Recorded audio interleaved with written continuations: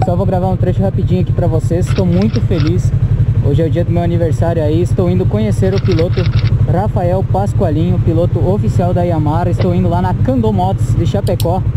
E gostaria de pedir a todos para se inscreverem no canal, deixar o like no vídeo, que é muito importante e ajuda muito, pessoal. E vamos lá, vamos acelerar. E daqui a pouco eu volto aí com vocês com o Rafael Pasqualinho, se eu tiver a oportunidade de gravar. Então, vamos lá, bora!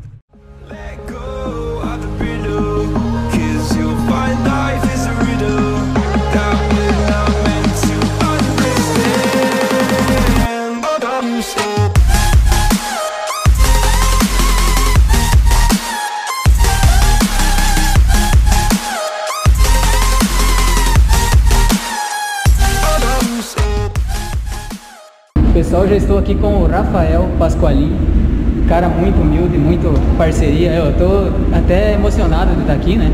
E vou fazer algumas perguntas para ele hoje. Eu não sei bem certo o que eu vou perguntar, mas gostaria de agradecer a ele pela oportunidade e a equipe Candô Motos aqui de Chapecó. Como eu comentei, hoje é o dia do meu aniversário e é um baita presentão estar com esse cara aqui. Isso aí, parabéns.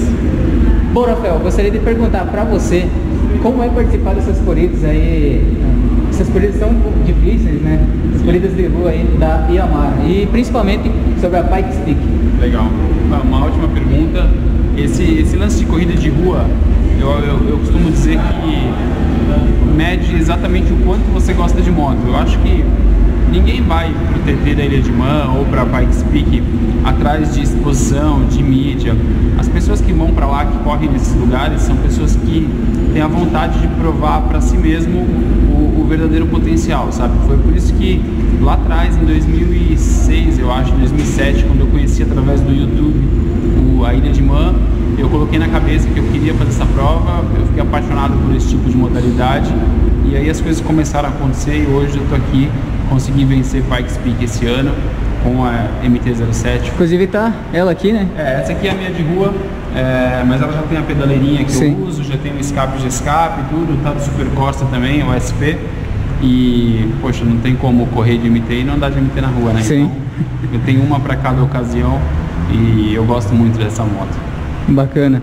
Inclusive eu adquiri uma MT-03 agora e eu estou com bastante dificuldade para fazer curvas.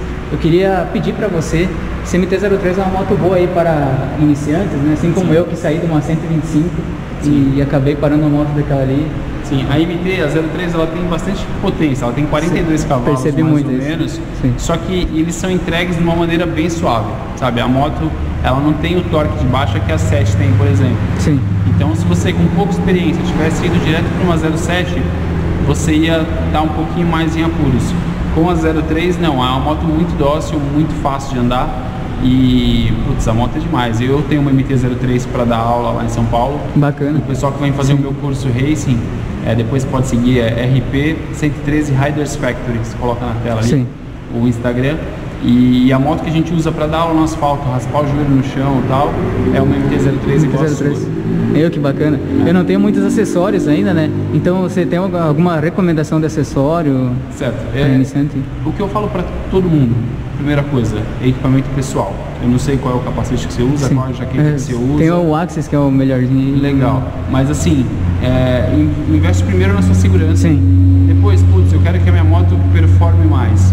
Eu começaria sempre pelos pneus, sabe? Às vezes o cara, a MT-07 mesmo, ela vem com um pneu original que ele é bem, bem duro. Sim. E às vezes o cara quer pôr escape, quer fazer suspensão, quer isso, quer aquilo, antes de trocar o escapamento, antes de trocar o, o pneu.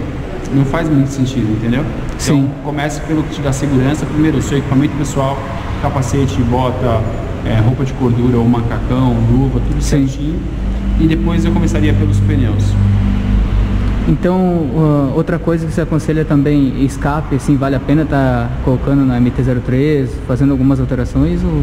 Assim, a, a 03 é uma moto que tem 42 cavalos com 320 centímetros cúbicos. Sim. É, é o tamanho do motor dela. Sim. Já é uma moto bem forte. Tá? É, se a gente pensar o que ela tem de potência, porque ela tem de cilindrada, é um motor bem, bem preparado já originalmente. Então nada do que você vai fazer vai mudar da água pro vinho. Sim. Você vai ficar sempre ganhando pouquinho, pouquinho, pouquinho, entendeu? É, então assim, falando da minha 07, vai, que eu tenho os dados preços aqui na minha cabeça. esse escape ganha 4 cavalos e meio. Sim. Tipo, e é o melhor custo-benefício de potência e, e dinheiro, sabe? Custa, sei lá, 1.500 reais e para 4 cavalos Sim. e meio. É, é muito bom isso. Na 03 eu não lembro quanto ganha, ganha bastante também. Mas Esse é um G-Escape. esse é um G-Escape. Lá com, com o Mário. o Marião, é. Eu, Pode que eu acompanho todos os vídeos dele lá, muito, é- muito show, né? Ele é parceiro, Sim. cara nota mil, uma empresa brasileira, é, assim como a pedaleira, eu uso uma pedaleira da Bullet, Sim. também é brasileira. Eu gosto sempre de tentar mesclar os equipamentos brasileiros, sabe, para alavancar, para fomentar o nosso mercado. Eu acho que se todo mundo fizesse isso, em vez de ficar só pagando pau para coisa importada, Sim. Olhasse para o que a gente produz de bom aqui, é, a gente está numa situação melhor.